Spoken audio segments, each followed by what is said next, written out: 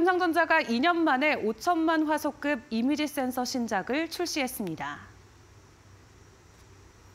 삼성전자는 오늘 스마트폰용 이미지 센서 GN 시리즈의 신작 GNK의 출시를 알렸습니다.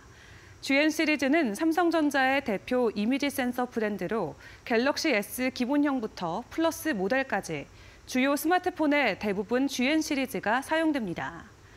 이번 신제품은 GN1을 업그레이드한 버전으로 저전력 특성과 자동 촉전 성능을 강화한 것이 특징입니다. 이미지 센서는 스마트폰뿐만 아니라 자율주행차, 드론, 의료기기 등으로 활용 분야가 늘어나고 있어 성장이 기대되는 시장으로 삼성전자도 이미지 센서 분야에 지속적인 투자를 실행하면서 업계 1위 일본의 소니 추격을 예고하고 있습니다.